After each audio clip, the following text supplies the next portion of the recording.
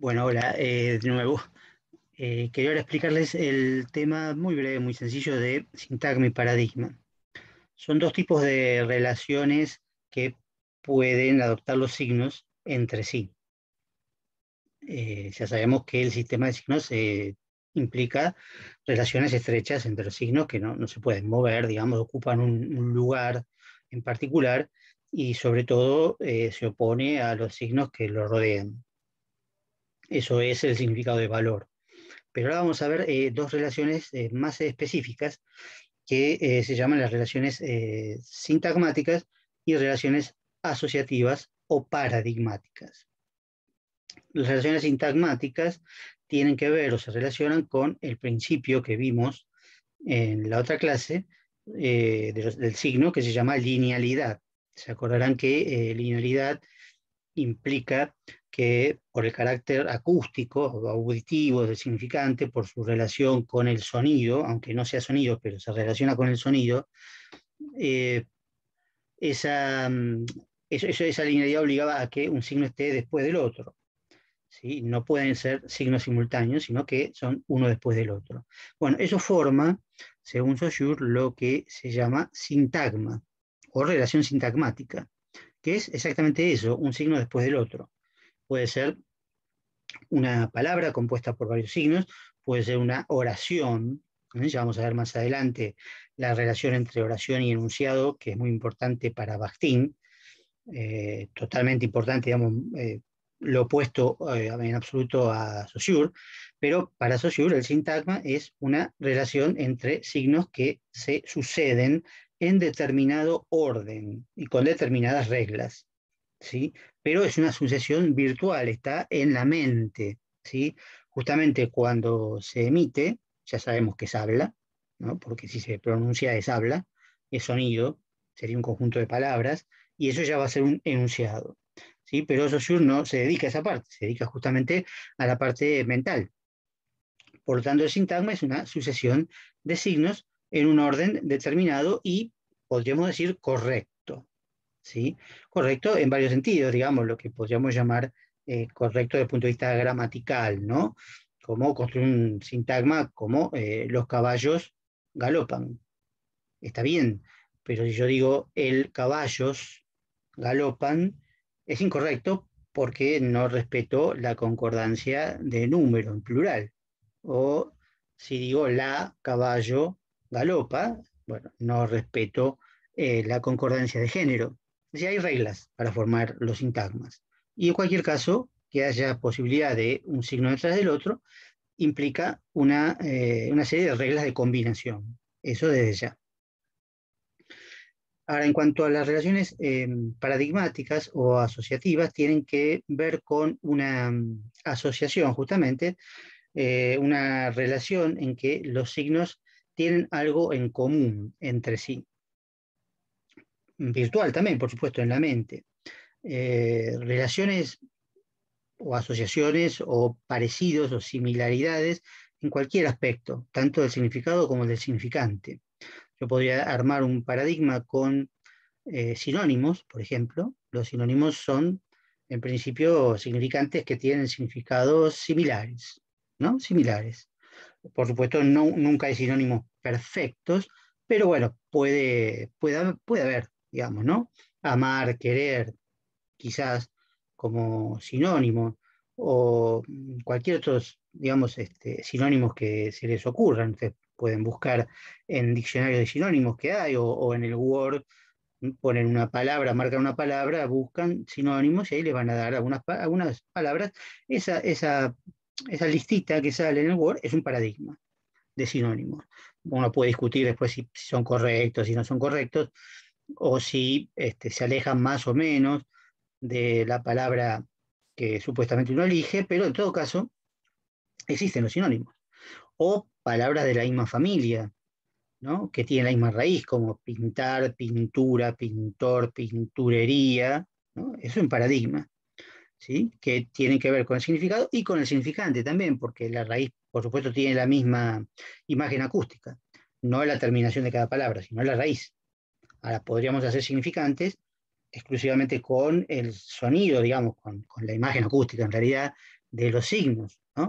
Por ejemplo, eh, palabras que terminen de determinada manera, ¿no? en ar o en ado o en endo, lo que fuera.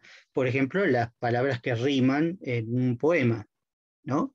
Rimar significa tener la misma terminación, la coincidencia entre las terminaciones, eh, desde el punto de vista de la imagen acústica o del significante, ¿sí? no del significado, más allá de que bueno, en poesía se puede utilizar ese tipo de rima para sugerir algo respecto al significado. Pero en realidad, en principio, se utilizan, yo, yo pongo azul y después rimo con tul, muchas posibilidades más no hay, es un viejo chiste de Borges.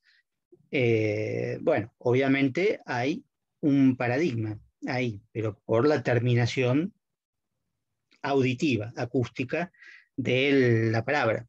Entonces, se pueden formar infinitos paradigmas en realidad en la lengua, porque siempre vamos a encontrar un signo que se parezca a otro, digamos, o a varios más. Entonces, formaría un paradigma que eh, permanece virtual, por supuesto, en la mente, como una especie de trama, ¿no? Ahí pueden ver los dibujitos que hay en, el apunte, ¿sí? Vean, vean, los dibujos que hay en el apunte, donde eh, aparece como una especie de, eh, primero de paradigmas, digamos, que parten de una misma palabra, de un mismo término, como dice Saussure, ¿no? Mismo signo, pueden partir varios paradigmas, pero después se pueden entrecruzar de tal manera que se forma como una especie de red, de malla, ¿no? de signos, ¿no? donde cada puntito de la red es un signo y se relaciona con varios. Y eso uno lo tiene almacenado en la memoria, según, en la mente, digamos, eh, según el conocimiento que tenga de los signos, como hemos visto desde el principio, que nadie posee toda la lengua en su mente individual, la lengua está repartida en la mente eh, colectiva, en la mente de la masa hablante, pero cada uno tiene, por supuesto, una parte importante que le sirve para comunicarse. ¿Y cómo? Bueno, en principio, haciendo una relación entre eh, la combinación ¿sí? perdón, perdón, la selección, digamos, dentro de un paradigma y la combinación dentro del sintagma. ¿sí? Como yo decía el ejemplo de ciencia, digo, eh, los caballos galopan, estoy seleccionando dentro de un paradigma los artículos definidos, el plural correspondiente, masculino, el paradigma, digamos, de caballo, que podría decir también, si uso sinónimos, eh, el corcel, los corceles o los matungos, ¿no? En distintos registros eh, de, lengua serían sinónimos. Y después tengo que usar el verbo que yo quiero, por supuesto, pero en principio que se corresponda al plural de caballos. Yo dije galopan, puedo decir trotan, pasean, eh, relinchan, cosas que pueden hacer los caballos. Eso es un sintagma, pero cada uno de sus signos proviene de una serie de paradigmas. Bueno, eso puede funcionar en varios, eh, varios tipos de signos o sistemas de signos, incluso de algunos signos cuya mm, unidad quizá no esté dividida en significado y significante de manera tan clara. ¿no? Eh, un ejemplo muy interesante que hace otro, eh, da otro teórico que no es que es por ejemplo la comida. ¿no? La comida uno puede verla como un sintagma, ¿no? supongamos sería la entrada, plato principal y postre. Ahora incluso están de moda eh, las comidas de siete pasos o, de diez pasos. Bueno, eso siempre se hizo, ¿no? Pero eh, los ricos siempre comieron en varios pasos. Pero supongamos un sintagma que sea eh, entrada, plato principal y postre. Y cada uno de esos proviene de un paradigma, efectivamente, de entradas, platos principales y postres. Se pueden combinar de diversas maneras con diversas reglas. Hay reglas eh, clásicas, tradicionales, reglas de autor, ¿no? No se puede combinar probablemente cualquier entrada con cualquier eh, plato principal, por ejemplo, o cualquier plato principal con cualquier eh, postre. Sí, uno lo puede hacer, por supuesto, pero digo que en determinados contextos hay reglas, como en todo sintagma. ¿sí? Y a su vez, esas eh, unidades provienen de paradigmas, ¿no? De paradigmas donde se elige, se selecciona y después se combina con distintos grados de libertad. Pero esto ya es, por supuesto, una extensión semiológica de los conceptos eh, la lengua funciona de esa manera permanentemente, eh, seleccionando en el paradigma o en los paradigmas y combinando en sintagmas. Después vamos a ver cómo esos sintagmas se transforman en enunciados una vez que efectivamente son emitidos por un individuo, por un hablante en particular. Pero esto ya es otra cosa, no es Saussure. Así que eh, pasamos a otro tema.